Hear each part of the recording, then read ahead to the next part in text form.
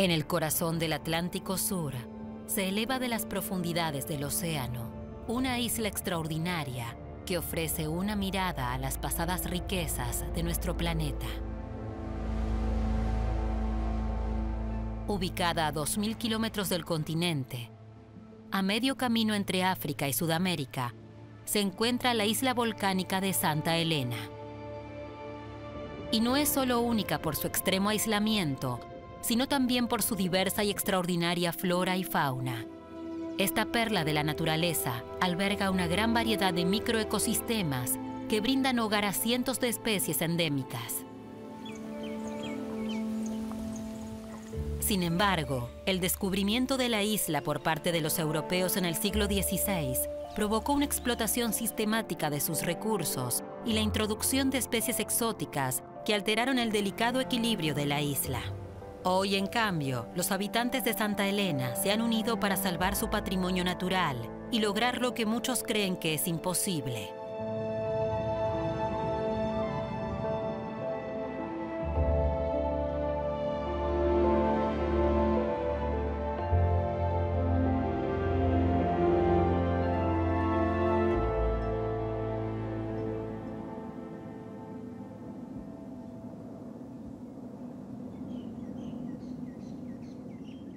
Formada por miles de años de erupciones volcánicas, la cordillera central de Santa Elena domina el horizonte. Sus tres picos cubiertos de niebla se elevan a más de 800 metros sobre el nivel del mar y albergan un ecosistema único, el bosque nuboso del Parque Nacional Diana's Peak.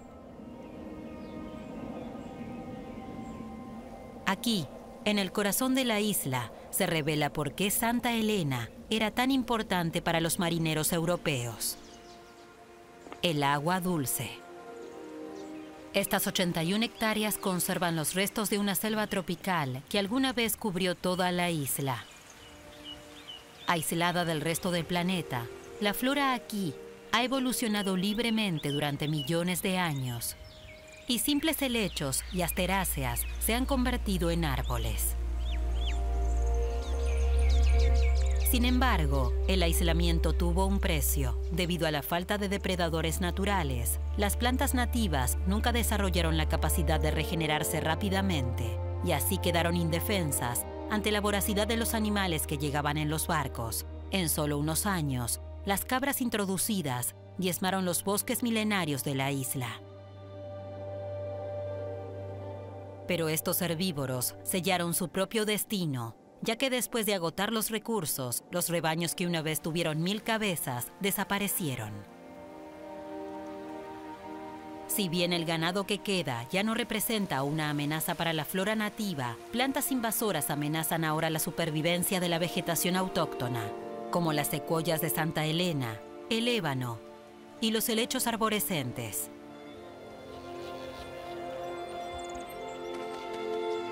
Ahora su futuro está enteramente en manos humanas.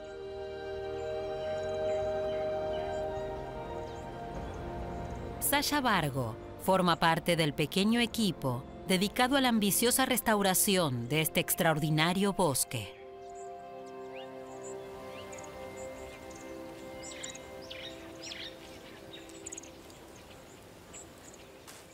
El Parque Diana's Peak es único porque presenta una alta proporción de vegetación e invertebrados endémicos.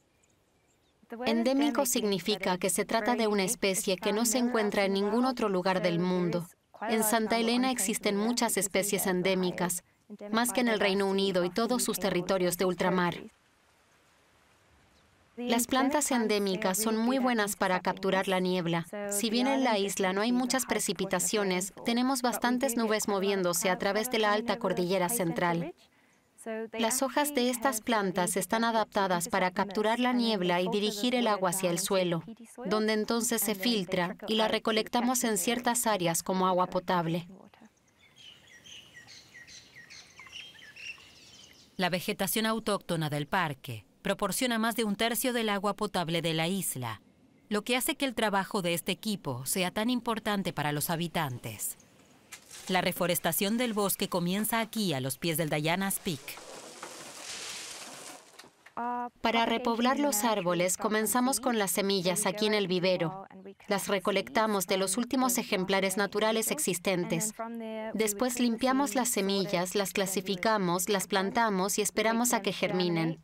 Luego las trasplantamos varias veces hasta obtener una planta lo suficientemente fuerte como para ser replantada en la naturaleza.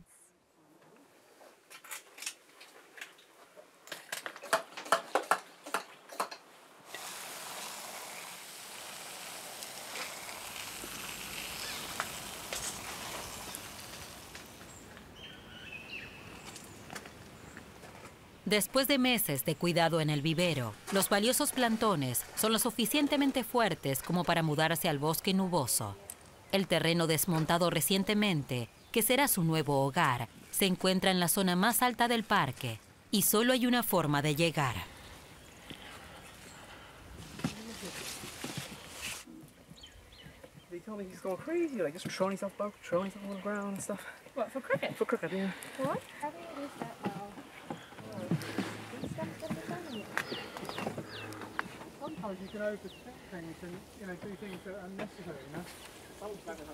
Intentamos restaurar el ecosistema original en el Parque Diana's Peak. Esto incluye la propagación y plantación de especies endémicas. Pero antes de que podamos hacerlo, debemos eliminar una gran cantidad de plantas invasoras. Deseo que en el futuro el Diana's Peak esté completamente cubierto de plantas endémicas y que gracias a esto grandes poblaciones de invertebrados endémicos vuelvan a asentarse aquí. Aunque todavía les queda un largo camino por delante, el tremendo trabajo que han hecho los ambientalistas es un verdadero éxito. Los helechos arborescentes y el meladodendron dominan ahora la cresta del parque. Su follaje le brinda sombra al suelo del bosque y reduce el crecimiento de plantas invasoras. Muchos invertebrados endémicos, como el caracol sonrojado, una subespecie del caracol ámbar, encuentra refugio en la flora recién restaurada, para deleite de las entomólogas Natasha Stevens y Lisa Fowler. Los invertebrados de Santa Elena ya han sido muy bien investigados. Las expediciones se remontan al siglo XVIII. Incluso Charles Darwin vino aquí una vez y documentó a los invertebrados, desde arañas a escarabajos o chinches, es decir, realmente una amplia variedad.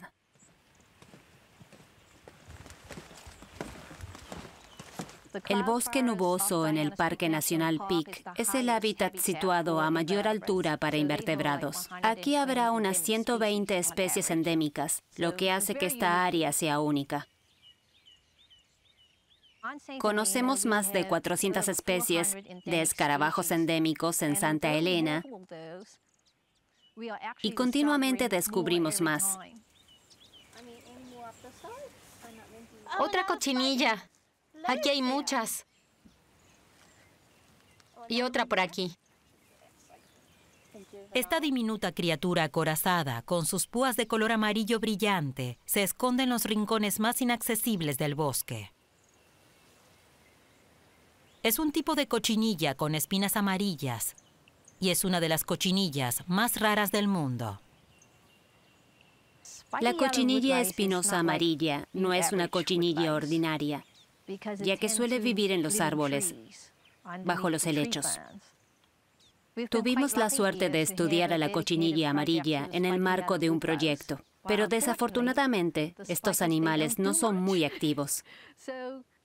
Creo que un estudiante de posgrado o un científico tendría que venir aquí y estudiarlas durante todo un año para saber más sobre ellas. Pero es bueno que hayamos aprendido un poco sobre su forma de vida, lo que nos ayuda a protegerlas.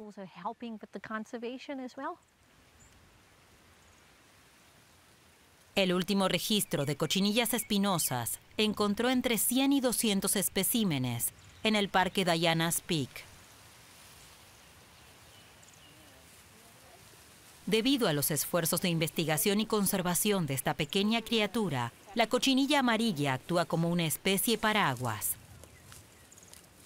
Es decir, a través de las medidas de protección, también se protege a toda la flora y fauna que la rodea.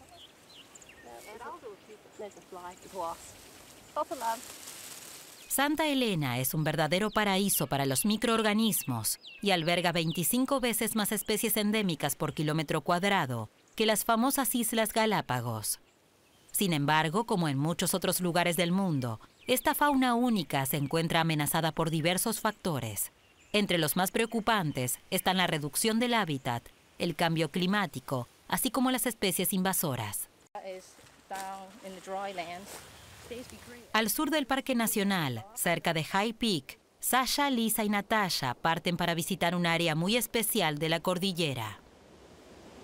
Seis árboles que prácticamente pasan inadvertido se aferran al borde de un escarpado acantilado. A pesar de su apariencia sencilla, el valor de estos árboles es inmenso. Son los últimos supervivientes de su especie en la naturaleza.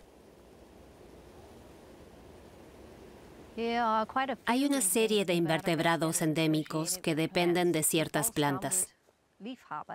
Por ejemplo, una especie de cigarra que convive muy estrechamente con estos árboles. Es algo único y al mismo tiempo muy triste, que su hábitat natural se haya reducido a solo seis árboles en la naturaleza. Y si estos árboles finalmente desaparecen, también desaparecerá la cigarra.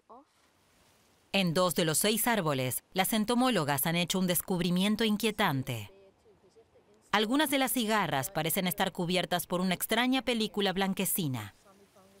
Fueron atacadas por un hongo que las devoró de adentro hacia afuera. Los invertebrados juegan un papel importante en todos los ecosistemas del mundo. Contribuyen a la descomposición de la materia vegetal, básicamente de toda materia muerta, devolviéndola al ciclo natural. Mientras continúe la restauración del hábitat, los invertebrados estarán protegidos. Todos los esfuerzos que ponemos en la conservación de la naturaleza ayudarán a largo plazo y las generaciones futuras deberán proseguirlos.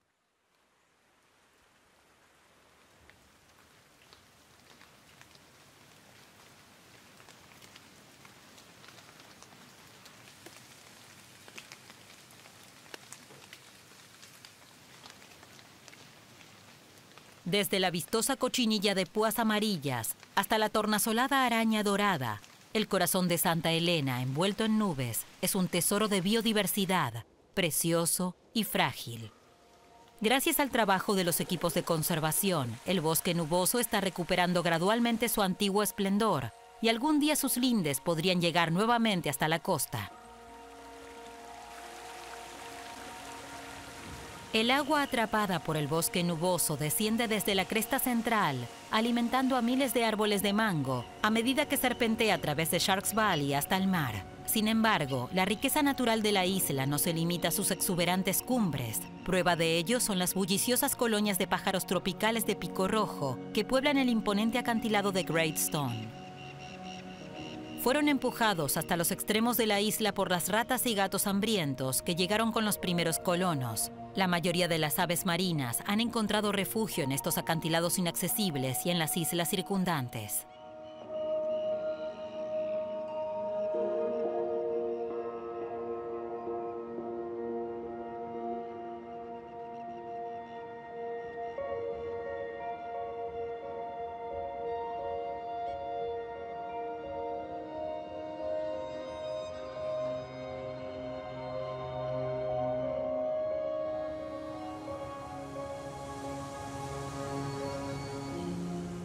Recientemente, muchas de las poblaciones amenazadas están mostrando signos de recuperación y algunas especies, como los pájaros tropicales y los charranes blancos, han desarrollado una particular predilección por los acantilados rocosos que rodean la capital de la isla, Jamestown.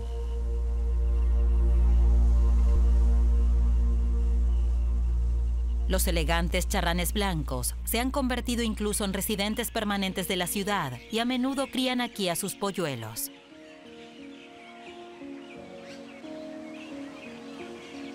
Durante los próximos dos meses, la cría necesitará toda la atención de sus progenitores, quienes se turnarán para alimentarlo. Aún pasará un tiempo antes de que su plumaje esté completamente formado y pueda dejar la comodidad de su balcón para pescar sus propios peces si sobrevive hasta entonces.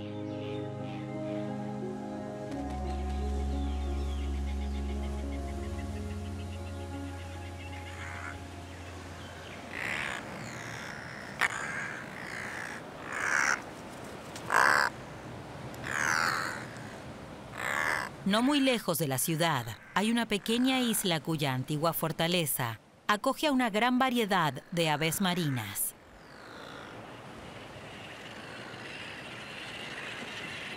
Cientos de gaviotines, charranes sombríos, paños de madeira y pájaros tropicales se han establecido en la isla Egg para poner sus huevos, que alguna vez fueron apreciados como un manjar por los lugareños.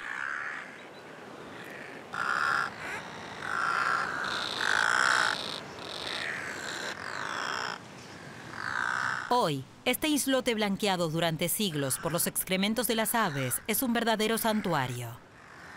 Los charranes sombríos y los gaviotines anidan justo al lado y para evitar la competencia por el alimento, las dos especies se reparten las áreas de caza y se interesan también por diferentes especies de peces. Sin embargo, este acuerdo no evita que surjan conflictos de vez en cuando. Los progenitores defienden obstinadamente el hábitat de sus crías.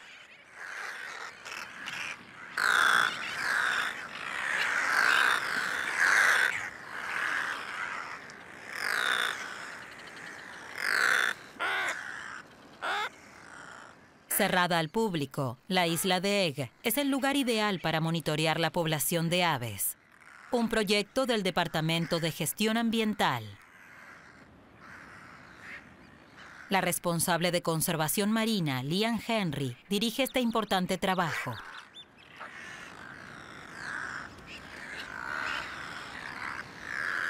Las innumerables aves marinas de la isla son un testimonio de la excepcional riqueza de las aguas que la rodean. En 2006, las 200 millas náuticas alrededor de Santa Elena fueron declaradas reserva marina. Desde entonces, se han puesto en marcha numerosos programas de investigación, muchos de ellos a cargo de Lian y su equipo. En 2012 hicimos un proyecto financiado por la iniciativa Darwin. Se trataba de un registro de hábitats y biodiversidad con el objetivo de crear un plan de oceanicultura. Fuimos los primeros en trabajar en un concepto de este tipo para Santa Elena. Creo que estas especies endémicas son muy importantes porque si las perdemos no hay forma de encontrarlas en ningún otro lugar. Y como Santa Elena es tan antigua, hay bastantes especies endémicas. Se necesitó mucho tiempo y aislamiento para que la flora y la fauna se pudiesen desarrollar aquí de esta forma. Si estas formas de vida desaparecieran ahora, sería una verdadera vergüenza para Santa Elena. El mundo ya ha perdido tantas cosas. Si observamos el mar desde arriba, parece simplemente azul, pero es la vida bajo el agua, las cosas que no se pueden ver lo que importa.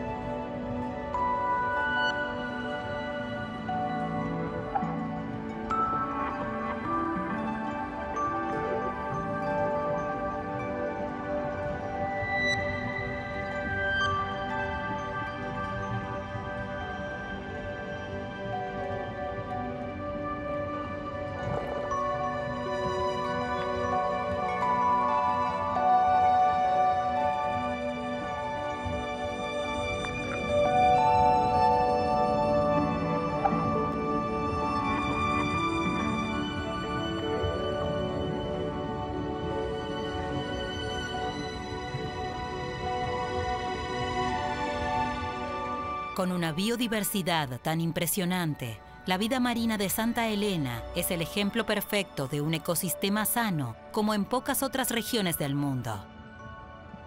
En cuevas submarinas o en antiguos depósitos de lava, la vida ha prosperado aquí durante siglos.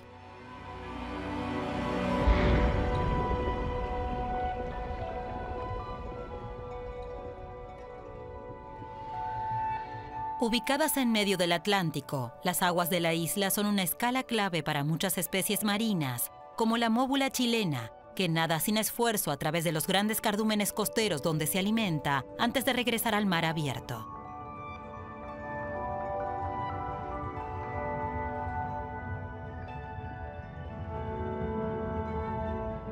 Cada año se descubren nuevas especies y las investigaciones científicas en curso nos ayudan a comprender cómo protegerlas mejor.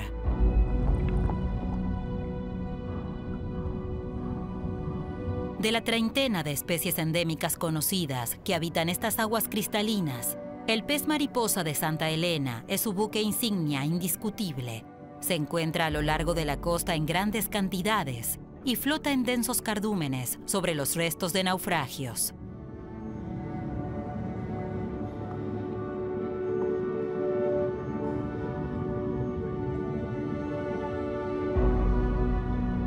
El Aluterus cryptus, la damisela y el besugo de Santa Elena. Los soldados raya negra y los peces trompeta. Todos ellos aprovechan el refugio que ofrecen estos esqueletos de acero. Los peces mariposa desempeñan un papel importante en el ecosistema marino de Santa Elena y cada año ocurre a lo largo de la costa un fenómeno espectacular y sin precedentes.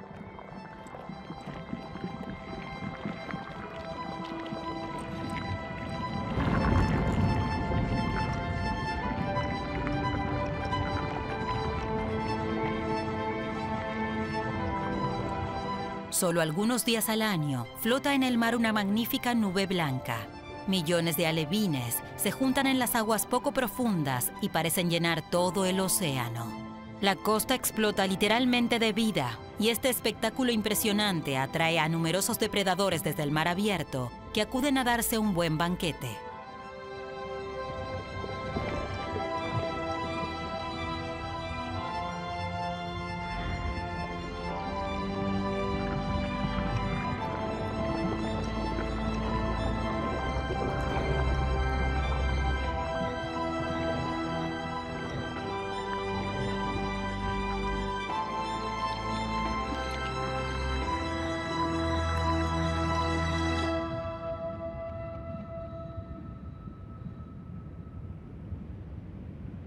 Santa Elena, un verdadero oasis de vida en la inmensidad del Atlántico, está lejos de revelar todos sus secretos. El aislamiento de esta isla, que permitió el desarrollo de una flora y fauna únicas, se ha convertido hoy en un obstáculo para su conservación. Lejos de laboratorios y universidades, las conservacionistas a menudo carecen de los recursos humanos y financieros para llevar a cabo sus investigaciones. Sin embargo, a pesar de estas dificultades, continúan trabajando incansablemente, a veces hasta altas horas de la noche.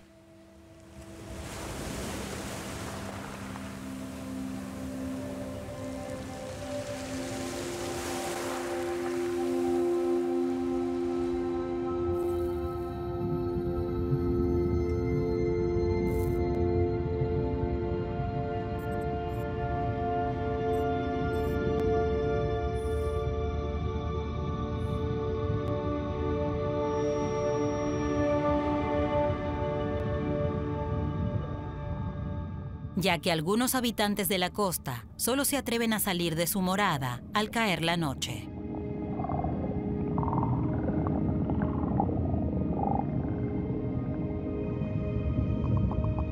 Entre los gusanos de fuego y las morenas tigre, los grandes artrópodos acorazados comienzan el día.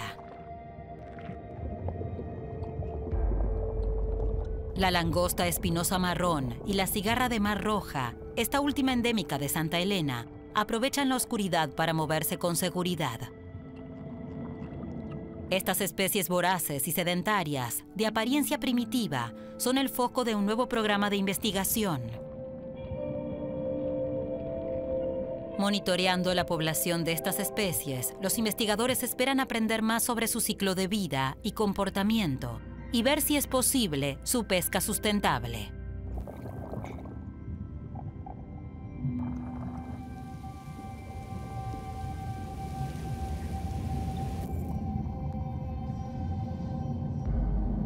A la luz de una linterna, cada langosta se captura a mano y se marca para identificarla la próxima vez que se capture.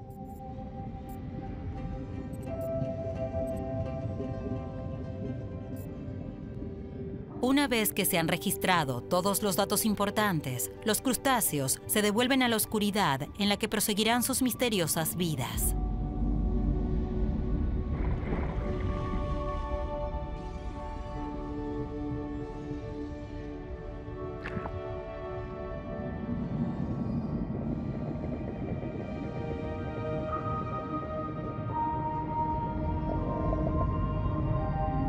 Como se espera un aumento del turismo, la isla está haciendo todo lo posible para obtener información sobre todos sus recursos naturales. Se quiere saber cuánto puede usarse sin poner en peligro la existencia de las poblaciones, si esto es posible.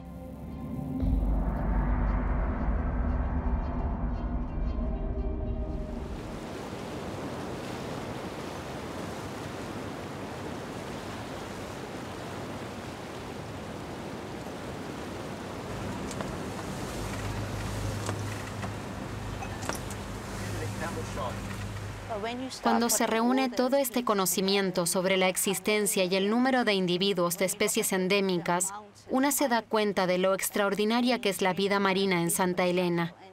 También la pesca es especial. Esta siempre se ha realizado con caña, un pez, un anzuelo, un sedal, para no saquear el medio ambiente. Todo esto junto hace que la reserva marina sea algo muy especial.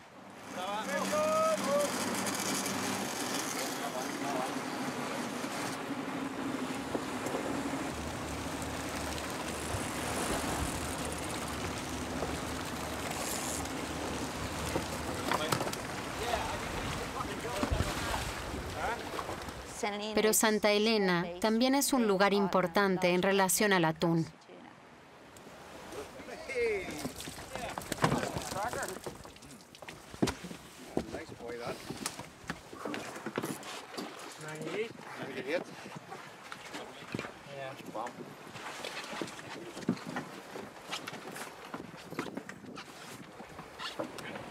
Desde hace cuatro o cinco años hemos estado trabajando para registrar el tamaño y el peso de los peces que se encuentran aquí.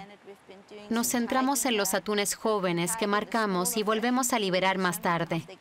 Después de eso, los peces continúan haciendo sus vidas como antes, creciendo y desarrollándose por completo.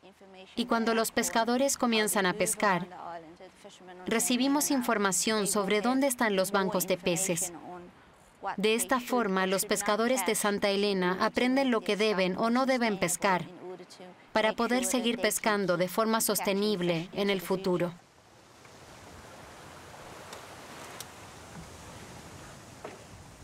Las poblaciones de peces de Santa Elena son monitoreadas de cerca y cada isleño sabe lo valiosas que son. Pero estas ricas aguas son mucho más que una despensa bien surtida para la biología marina juegan un papel muy importante y pueden ser la clave para comprender los misterios del pez más grande del mundo, el tiburón ballena.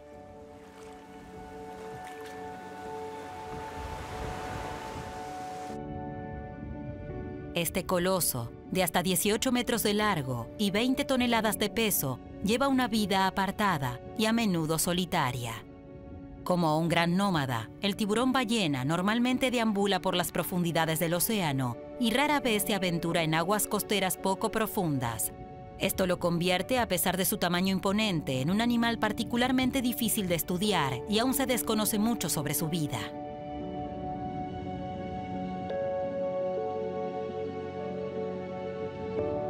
Este gentil gigante rara vez interrumpe sus largas inmersiones para salir a la superficie, alimentarse de plancton, calentarse o incluso aparearse. Y es que en ningún lugar del mundo se han podido ver tiburones ballena durante el acto de amor. En ninguna parte excepto aquí, en Santa Elena. Las aguas de la isla son el único lugar conocido donde machos y hembras adultos se dan cita en igual número. Santa Elena es el lugar más conocido donde cría el tiburón ballena y por lo tanto juega un papel importante en la comprensión y protección de esta especie amenazada. Pero para los habitantes de la isla, la población de tiburón ballena es también un indicador de la calidad del agua alrededor de la isla.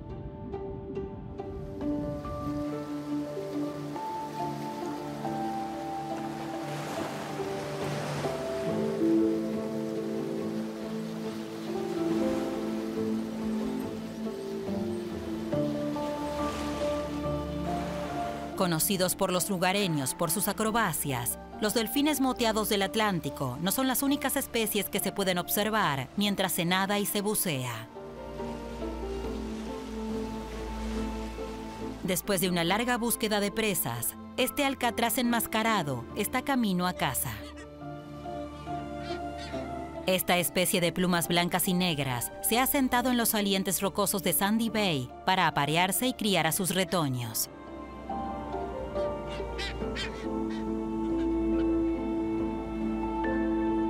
En busca de alimento, dejan sus acantilados y se adentran en el océano para acumular suficiente alimento en este crucial momento.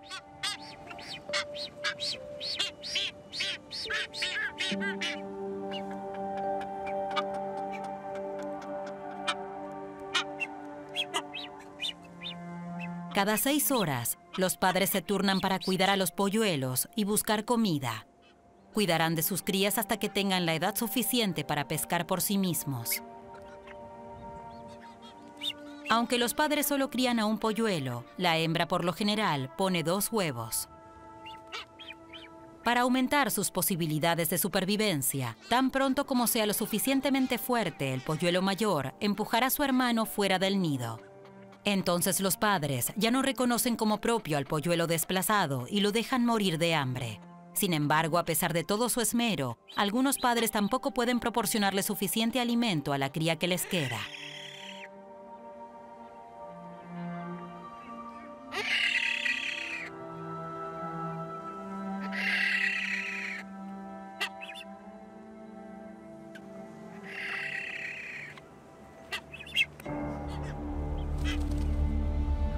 Padres pueden hacer todos sus esfuerzos, pero la dura combinación de calor, hambre y el viento implacable es demasiado para algunas crías.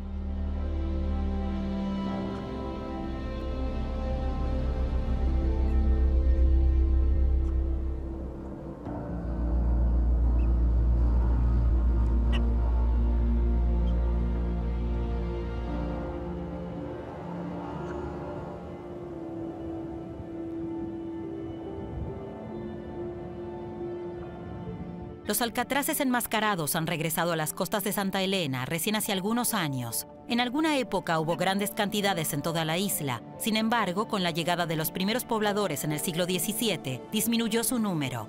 La fatal combinación de caza, deterioro del hábitat y una mayor presencia de ratas y gatos provocó rápidamente una disminución en la población general de aves en la isla. Como resultado, casi todas las aves endémicas de Santa Elena ahora están extintas. Casi todas. Un ingenioso sobreviviente a la extinción pudo adaptarse a la deforestación de la isla. El chorlito de Santa Elena, también conocido localmente como pájaro alambre, es el único originario de la isla y se siente cómodo en las praderas y terrenos semidesérticos azotados por el viento. Pese a su adaptabilidad, esta pequeña ave también estuvo hasta hace poco en peligro de extinción. Dennis Leo, miembro del Saint Helena National Trust, dirige el proyecto para proteger al chorlito, que también es un emblema de la isla. El primer nido de pájaros alambre que vi me entusiasmó. De hecho, lo primero que vi fue un polluelo y me emocionó tanto como si fuese el mayor descubrimiento de todos los tiempos. Desde entonces me volví adicto a este pájaro. El pájaro alambre es un pequeño chorlito de unos 20 centímetros de largo. Tiene plumaje gris con una máscara negra y la parte inferior del cuerpo blanca. Sus patas largas y nervudas también son bastante llamativas. Le encanta correr por el suelo y de repente desaparece, casi como Usain Bolt. Esto le permite desviar la atención de un agresor del nido y luego volver rápidamente en cuestión de segundos. Siempre está en movimiento.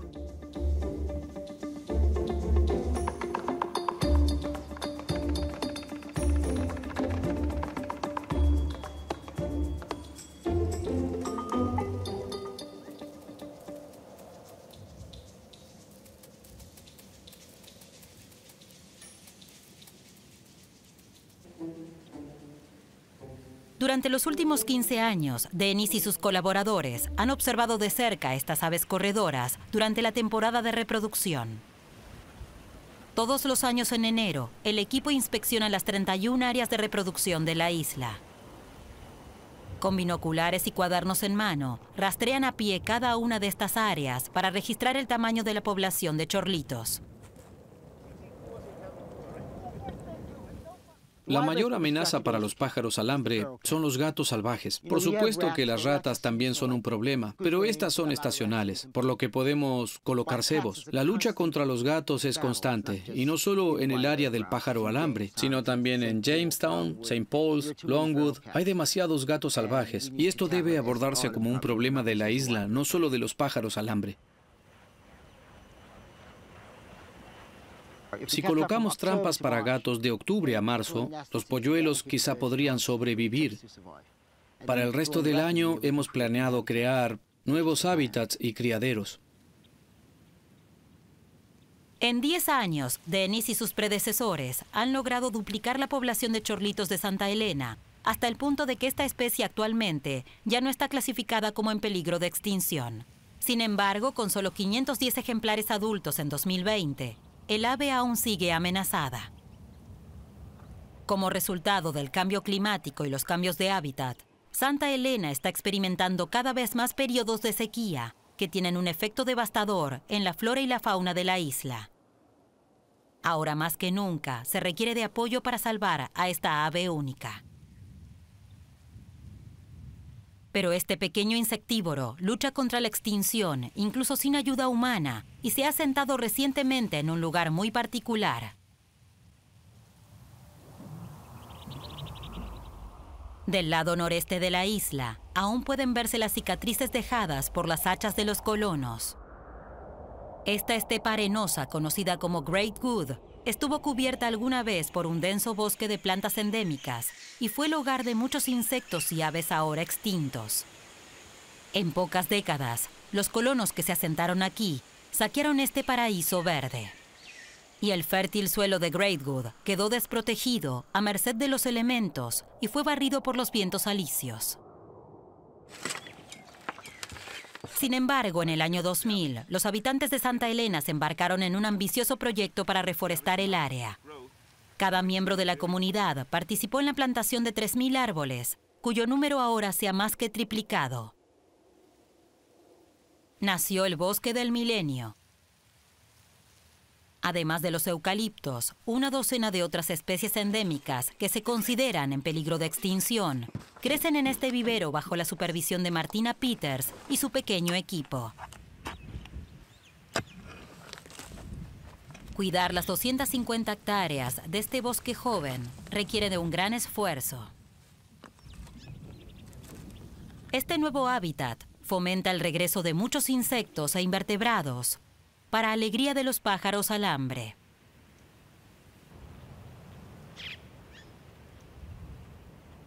El Bosque del Milenio es un proyecto gigantesco que implicará a más generaciones. Ni los fuertes vientos ni el suelo seco parecen poder doblegar la determinación de los isleños.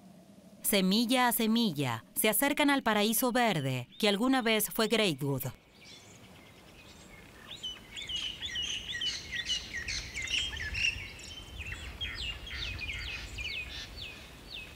En el pasado descuidado, saqueado y explotado por el ser humano, el patrimonio natural de Santa Elena ahora es defendido apasionadamente por sus habitantes. No es una tarea fácil y tanto las ONGs como el gobierno tienen que arreglarse con los recursos limitados a su disposición.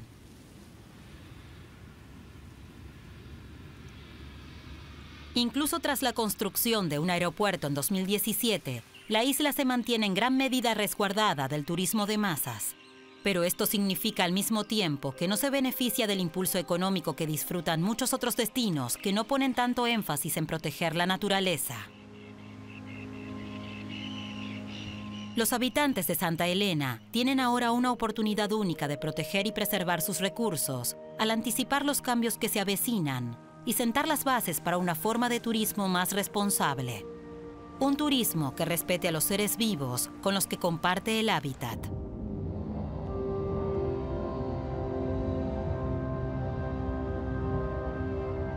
Este remoto paraíso, con sus tesoros ocultos, es el orgullo de sus habitantes, porque saben lo importante que es preservar la belleza natural para las generaciones venideras, a fin de continuar haciendo de Santa Elena un bastión de la biodiversidad.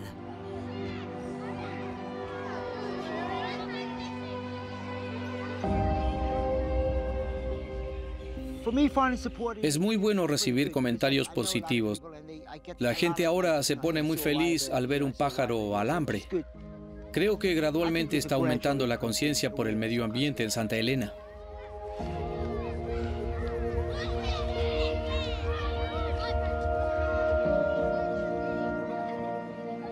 En Santa Elena todo tiene un propósito, todo sirve para algo, incluso si no lo entendemos del todo en este momento. Cuantas más personas comprendan estas cosas o se sientan vinculadas a ellas, más comprenderán que deben cuidarlas y protegerlas.